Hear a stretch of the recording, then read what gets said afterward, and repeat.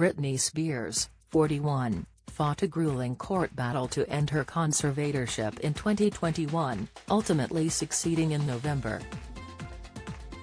However, sources told TMZ that, while nearing the end of her 13-year conservatorship, a list of recommendations were made by those that were caring for the pop star.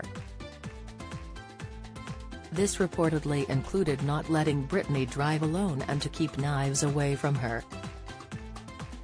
The toxic singer allegedly developed a fascination with knives and kept one under her bed at one point during the conservatorship, fearing that someone would come in the middle of the night she is thought to have a mortal fear that she would be reinstitutionalized and taken from her bed to a psych ward.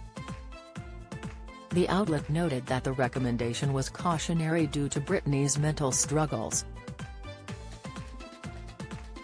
Britney was placed into a restrictive conservatorship in 2008 after she had been put on two 5,150 psychiatric holds.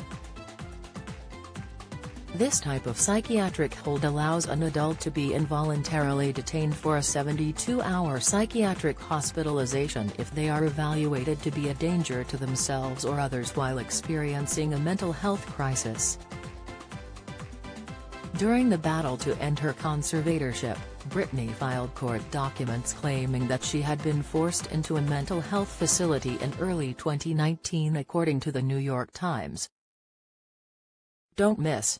Actor Stephen Tompkinson unemployed as work axed after arrest. Latest, guest list of stars invited to Archie's birthday by Harry and Meghan.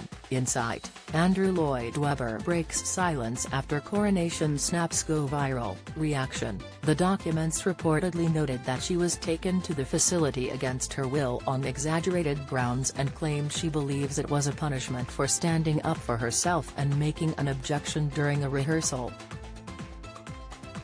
This reported stay at the mental health facility occurred after she began her hiatus from music which still continues to this day.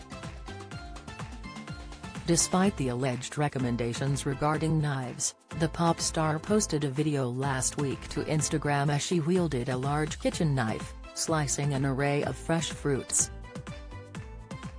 She captioned the clip, which also featured loud, distorted music echoing in the background, I have over four organic pitchers of watermelon juice in my refrigerator.